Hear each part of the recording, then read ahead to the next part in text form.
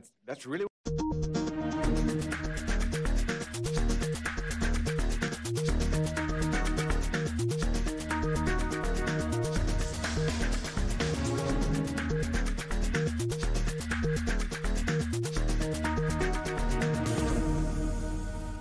Hello and welcome to Shaka Extra Time, a show that comes to you every Tuesday. Joining me on set is Shaka Ssali himself, aka the Kabale Kid. Hello, Shaka. Hello, Paul. How are you? I remain simple, easy, and awesome. Uh, with your incredibly looking, uh, uh, oh, gorgeous shirt. Guess who is talking? What about you, man? Okay, uh, today we'll be talking about a wide uh, range of issues, and uh, we'll, for the first time, uh, bring in a surprise uh, guest uh, who is going to interact uh, with us uh, on uh, Shaka Extra Time. Uh, but uh, before we go there, let's uh, maybe start in Rwanda. Something remarkable, Shaka, happened in Rwanda. Uh, they, for the first time uh, in maybe in so long, they opened a, man, a, a, smartphone manufacturing plant in Rwanda. Uh, what a remarkable achievement on behalf of Rwanda. I think that Rwanda deserves to be congratulated for obviously, you know, coming up with that kind of effort because uh, the last time I checked, uh, up to now, there has not been a single country on the African country, I mean continent, uh, that was in fact manufacturing those types of things, those types of important gadgets. Uh, the only countries I know of uh, which have something to do with those types of gadgets, and that is simply assembling. You're probably talking about Algeria, you're talking about Egypt, you're talking about Ethiopia, and I think South Africa. Uh, but uh, there are people who also say that uh, what is happening in Rwanda is as more of assembling, not really manufacturing. Well, that is what they say, but you know, Paul, I have often said that uh, when it comes to opinions, everyone is entitled to their own opinion. But when it comes to facts, that one, you do not have different sets of different facts. They are facts. and I think from the story that I was able to see, it makes a very significant difference between what they call manufacturing, which apparently is happening in Rwanda, and uh, assembling, which I said uh, has actually uh, is going on uh, in Algeria, in Egypt, in Ethiopia, and I think South Africa. Uh, maybe I could also add that uh, in 2012 I covered a young man uh, from uh, Congo Brazzaville by the names of Vérone Mankou, uh, who is arguably Africa's Steve Jobs, uh, who started a cell phone and tablet manufacturing company in Congo Brazzaville. That, by the way, prog- is programmed in local languages, so it has access. It can be accessed by a lot of a lot of young people. But uh, maybe what is interesting in Rwanda is that they're actually making those phones for him. He couldn't keep up with uh, the demand, so he had to maybe solicit uh, uh, the expertise of Chinese I to see. help him. Yeah. But the other thing that uh, I think we should also really be very clear about, we are talking about uh, smartphones, Correct? not simply or just phones. No, no, he was doing smartphones. Yes, absolutely. Really? Yes, smartphones and smart uh, tablets. But it was like uh, a sort of individual effort from the way you have been able. So, uh, no, I mean, since it. then he has raised enough money to actually go public because uh, when I talked to him in, two, in 2012, uh, that's how many years ago, Hmm. he had uh, at least, uh, when I talked to him, he had th- sold about 500,000 units. Hmm. Mm. It's very interesting, by the way, that uh, the is behind this in Rwanda, the man uh, whose name I saw, Ashish Thakkar. Ashish Thakkar, I've interviewed him several be- times, yeah. Yeah, the last time I checked, I thought uh, he was, in fact, uh, a Ugandan citizen. Is that true? Yes, absolutely correct. Which means that uh, he basically found, uh, uh, you know, environmentally and commercially friendly uh, environment uh, in Rwanda for him to do that because he could have actually done it uh, in Uganda, which, even in terms of po- population, in terms of the numbers and what have you, say, larger market. Yeah, he seems to have uh, a softer spot in uh, Rwanda. He, uh, he moved actually most of his uh, uh, holdings, company holdings, uh, to Dubai and Rwanda. So I think it's not surprising that he decided to launch that manufacturing factory out there. So he probably got what you would say friendly sort of incentives. Mm. Yeah, interesting. Uh, and uh, today, for the first time, I told you earlier that uh, we have a surprise uh, guest. so we are going to go to uh, Mona in uh, Germany, who has been a long time fan of Shaka Extra Time. Mona, welcome to Shaka Extra Time. Hello, Shaka and Paul. Hello, how are you? And this is Mona. This is Mona Nambalirwa from Dorsten, German, North Rhine-Westphalia. Hello, Mona. Your show is Hello is so educative and inspiring. But I have a burning question with me. Go for it. Despite the fact that Africa is rich with every natural resource, why is it that most of the African population we are below poverty line? It's a very interesting uh, question, Mona, and I think that um, actually you know, Paul and I have actually been um, asking that question, and um, we've also been asking that type of question on different editions of Straight Talk Africa. Because uh, let's face it. Uh, bothers me a lot. Yeah. It bothers me a lot. I see we have a lot of natural resources, but our people are so poor. Well, is it possible that uh, we are probably talking about uh, a sort of what would be characterized by people as uh, a leadership deficit. We definitely need uh, a sort of leadership that is visionary, just like uh, the founding fathers uh, in the 1950s and 60s uh, who helped us to end colonialism, as it were, so that African countries could regain political independence from the former European powers.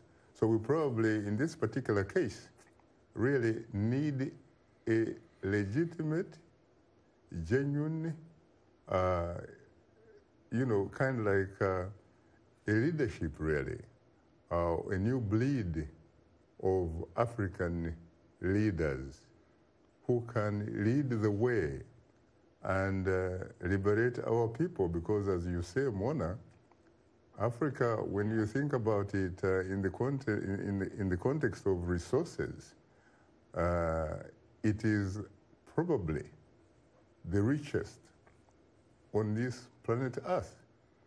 And yet, when you look at uh, the quality of life of the African people on the continent, um, they are pretty much uh, behind everyone else, really. The question is why?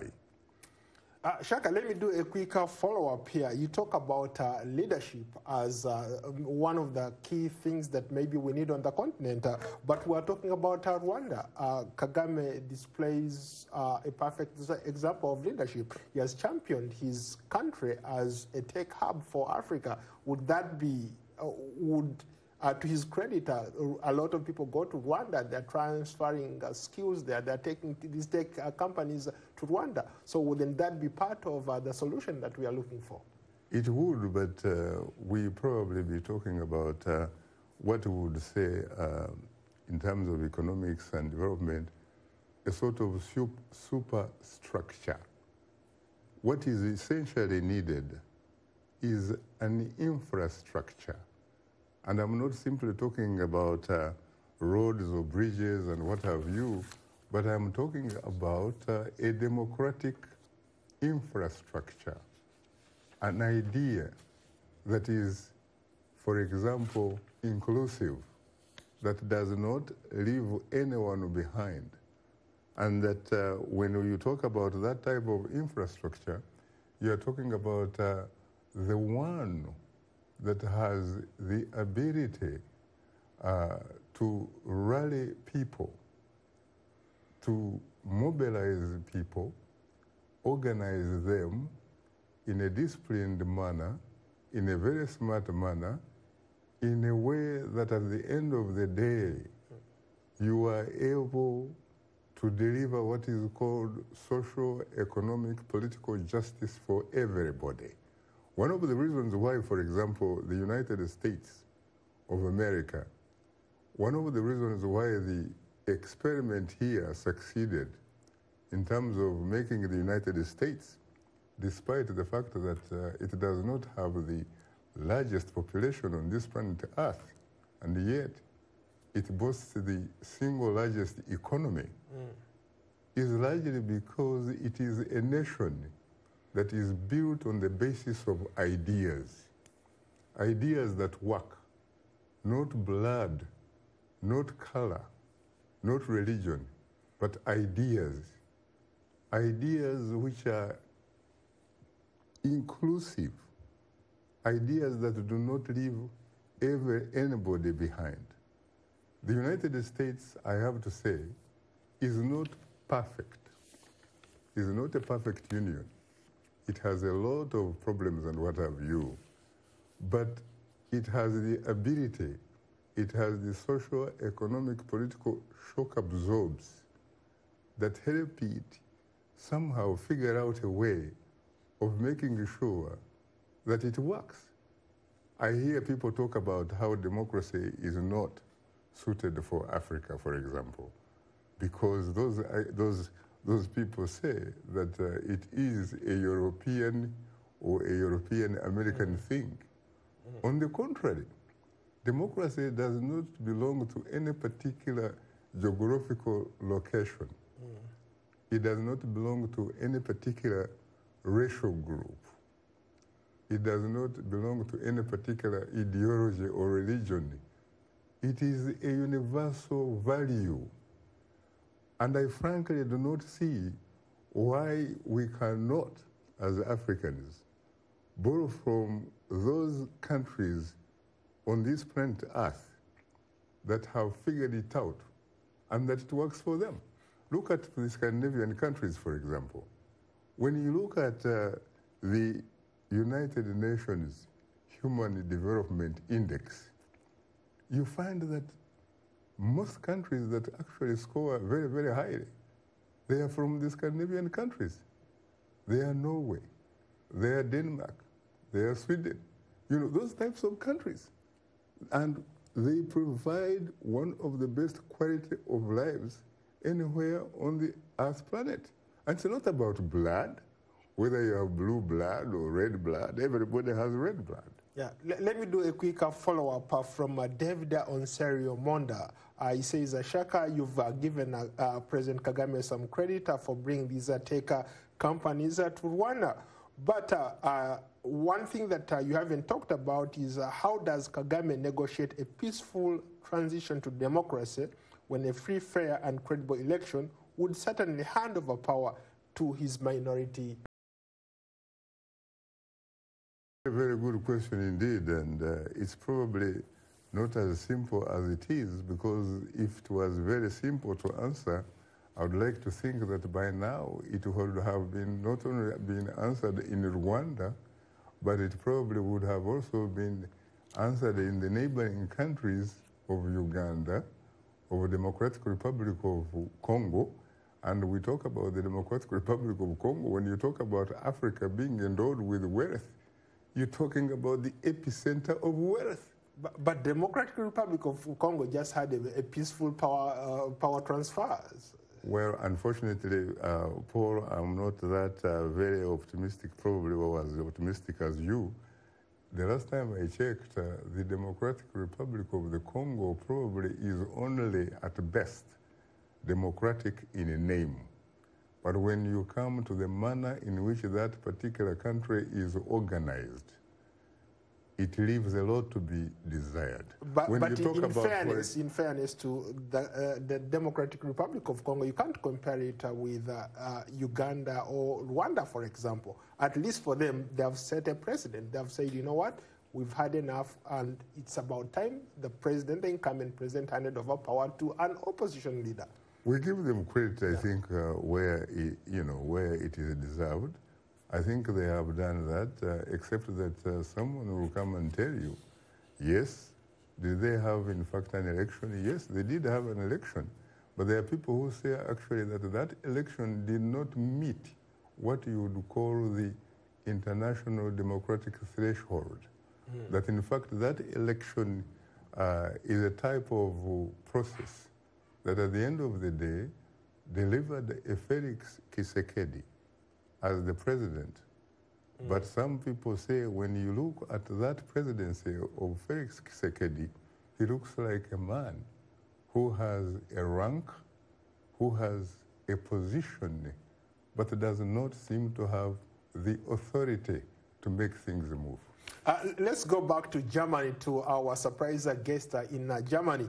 Uh, Mona, you live uh, in Europe. Uh, you are in a country that is arguably the largest economy in, mm-hmm. in Europe.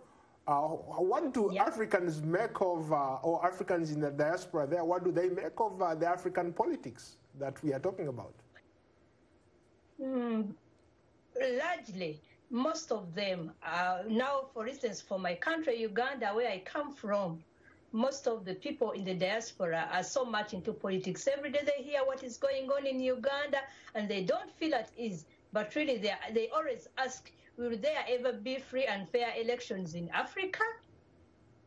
We were talking on, on elections, but really, does fair, free and fair election in Africa exist if we see also in connection with, for instance, countries which are developed like America, there is, there are not free and fair elections. What does it, uh, how does it affect Africa as a whole? If we see what is going on right now in America and what is going on with Africa, what lessons do we draw from that? Shaka, that's a very interesting uh, take.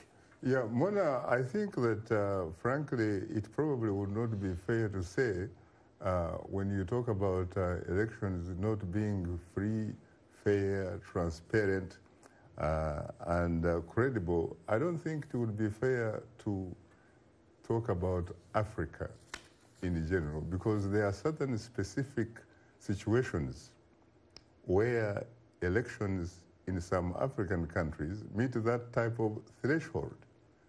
South Africa, for example. South Africa is definitely the beacon of hope for African democracy so far. And in fact, when you look at uh, Southern Africa, the Southern Africa part of the continent, it probably is in the lead in terms of uh, what appears to be democratic governance. You're talking about Botswana, you're talking about uh, Mauritius, you're talking about uh, Namibia. You're talking about uh, really countries that uh, have tried.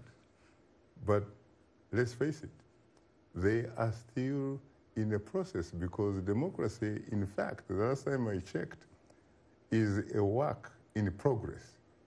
Even right here in the United States, we do have a debate about what happened in 2016. We seem not to have figured it out yet. Uh, when you talk about uh, uh, the you know democracy, I think that uh, African leaders should embrace democracy, because I sometimes wonder why anybody should be asking whether or not democracy is the right medicine for Africa, and yet it seems to be working in the you know the other countries in the world. Like I was talking about uh, the Scandinavian countries, they embrace a sort of democratic system that delivers goods for everybody to be a decent, respected human being. You have, for example, education there. Education there is a right, not a privilege you have uh, uh, the situation of medical care. When somebody is sick, it is a right, not a privilege. And so I think it can be done. And when you talk about Africans talking about uh, ideas which come from somewhere else, for example, I was looking at electricity. When you look at electricity, nobody bothers, you know, in Cavalry where the electric bulb uh, first came from. Nobody even asks the question about a man called Thomas Edison, whether Thomas Edison is a Tutsi, a Hutu, whether Thomas Edison is uh, uh, a Kakwa, a Kikuyu, or a Jaluo, whether Thomas Edison is an Igbo or Yoruba or an American or a European. But what is important is what Thomas Edison contributed. When you, when you switch on a light, the light is not going to ask you which tribe or ethnic community you come from. And you talk about uh, telephones, for example. Yeah. We're talking about telephone. I- A I man wanted to do a called, quick uh, follow-up. Alexander, Alexander Graham Bell, a man who was Scottish, migrated to Canada, subsequently to the United States of America, and invented the telephone. In fact, he's buried in Albany, New York, upstate New York, where I went for undergraduate school. Yeah, Shaka, let's do a quick uh, follow up on the same uh, topic. Let's go to Ghana. Let's go to uh, Asha Jackson uh, in Accra, Ghana. Uh, I'm surprised that you are talking about America ha- not having free, fair elections, but we've done it in Ghana. Ghana has had free, fair elections. Why are you not mentioning Ghana? Well, I, I, by the way, I was not mentioning every country, but if I had come to West Africa, I would definitely have mentioned Ghana. Ghana is not only a pioneer in terms of uh, the indigenous African countries being uh, regaining political independence, you know, beginning March 6, 1957, in Accra under the Osagyefo, Dr. Kwame Nkrumah. But now that Ghana has a democracy, I would, I would like that Ghana should challenge itself in the same way that Nkrumah challenged the people mm. of Ghana at the time, that the independence of Ghana would be meaningless unless it was linked with the total liberation of the African continent. And Nkrumah did not simply talk the talk. He actually walked the talk so that the rest of Africa could actually walk the walk. Now I can challenge Ghana to challenge itself and its people that the democracy of Ghana would be meaningless unless it is linked with the democratization process of the entire African continent. Uh, Mona, uh, let's uh, get uh, back to you. Do you, uh, do you want to ask uh, Shaka one more question? Now, you're one of those uh, fans who, was, uh, who is always uh, like very active, actively engaged with one, this one show. more time. I was following Sudan of recently in September before it ended. They were supposed to make to form a unitary government, but unfortunately, the opposition leader Riek Machar rejected to it. Where do you where do you think Sudan will end up to if they cannot South Sudan. have a unitary government?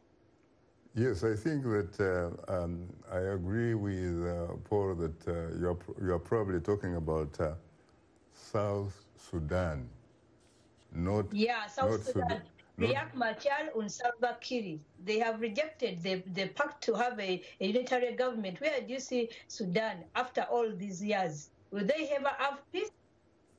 At the end of the day, uh, it's really uh, a matter of time. I think that uh, the only answer, the only solution for the people of South Sudan, just like the people of the entire African continent, it is democracy.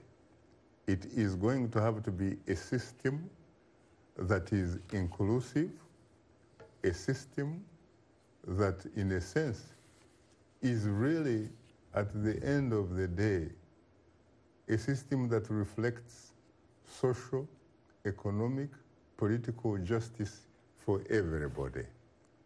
Until and unless that happens, I don't think, frankly, that we can talk about uh, the African continent or South Sudan, for that matter, you know, being develop, you know, developing, and it can be done.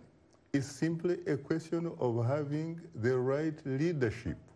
We have a leadership deficit, and part of the reason we do that is because we have yet to come up with a system that allows the people to be the primary stakeholders in terms of the affairs of their societies so that they can actually have a system that can give them an opportunity to choose who they think should be their leader, not having leaders who impose themselves upon their people.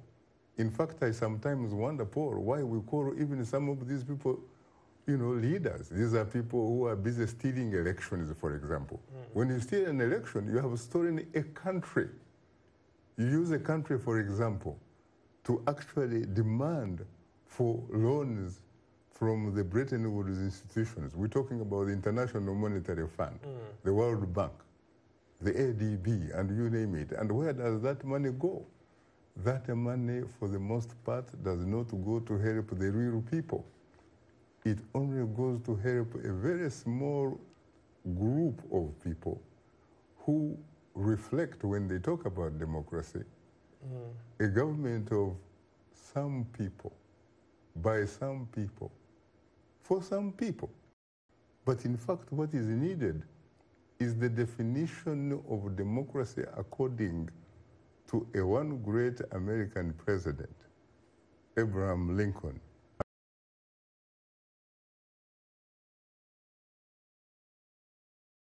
By the people and for the people.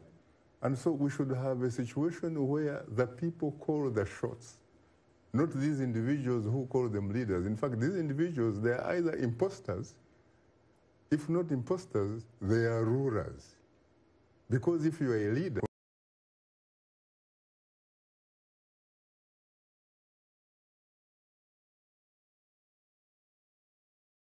concerns of your people, and you can only do it if you consult them.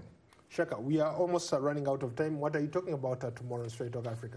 Tomorrow, it's very interesting. We are talking with uh, uh, a lady who comes from uh, the great, uh, tra- rich traditions of the Ashanti Kingdom, a princess, Nana Konadu Agyeman Rawlings someone that uh, served as uh, the first lady of her country uh, for many, many, many years. She's the longest serving uh, first lady in, in the history of Ghana. She is an incredible lady. And uh, she has written a great book uh, called uh, uh, It's a woman. It Takes a Woman, which traces essentially her journey through life. And uh, we'll be talking about that and many other things tomorrow. Tune in. Uh, interesting. Uh, on that uh, note, thank you to uh, our guest uh, in Germany, Mona. Thank you so much. I will look forward to hosting you on another edition of Shaka Extra Time. And to you here in the studio, thank you so much uh, for uh, your insight. And I look forward to hosting you on another edition of Shaka Extra Time. Thank you, Ndugu. Yeah, thank you.